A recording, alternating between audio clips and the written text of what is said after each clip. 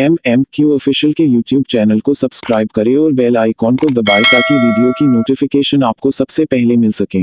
बसमीम मोहतरम नाजरीन असलकम वरहमल वबरक आया सोफ़िया में छियासी साल के बाद, नमाज़ जुमा अदा किए जाने के बाद, पूरी दुनिया के मुसलमानों में खुशी की लहर है। इस मौके पर आलम इस्लाम के मजहबी और सियासी शख्सियात भी अपनी अपनी खुशी का इजहार कर रहे हैं।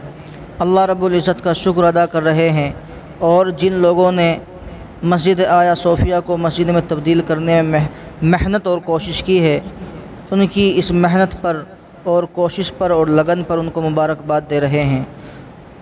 मुबारकबाद देने वालों में आलम इस्लाम की अजीम शख्सियत अलकुदस और फ़लस्तीन के मुफ्ती शेख मोहम्मद हुसैन ने मस्जिद अक्सा से आया सोफ़िया मस्जिद में इबादत की बहाली पर मुबारकबाद दी है।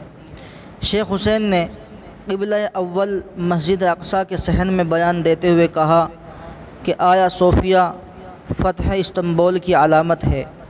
1934 तक मस्जिद के तौर पर इस्तेमाल किए जाने वाले इस अल्लाह के घर को, इस मबद को म्यूज़ियम का दर्जा दिया जाना एक गलती था। क्योंकि ये फ़ातह सुल्तान मोहम्मद का अवकाफ़ था।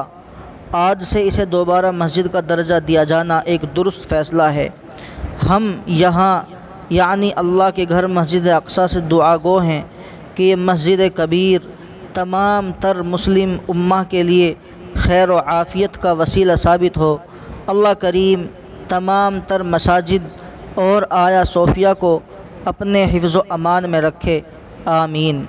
शेख हुसैन ने सदर रजब तैयब उर्दुगान के आया सोफ़िया के मस्जिद अक्सा की आज़ादी की कुंजी होने पर मबनी बयान की जानब इशारा करते हुए कहा कि हमारी दुआ है कि रब्बुल हमारी इस ख्वाहिश को पूरी फरमाए।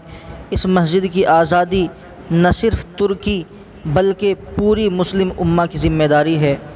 हम सभी भी दुआ गो हैं कि या अल्लाह जैसे आपने आया सोफ़िया को मुसलमानों के हवाले किया है। इसी तरह, या अल्लाह मस्जिद अक्सा को, जाम कुरतबा को और बाबरी मस्जिद को फिर मुस्लिम उम्मा के हवाले फरमा दे। आमीन।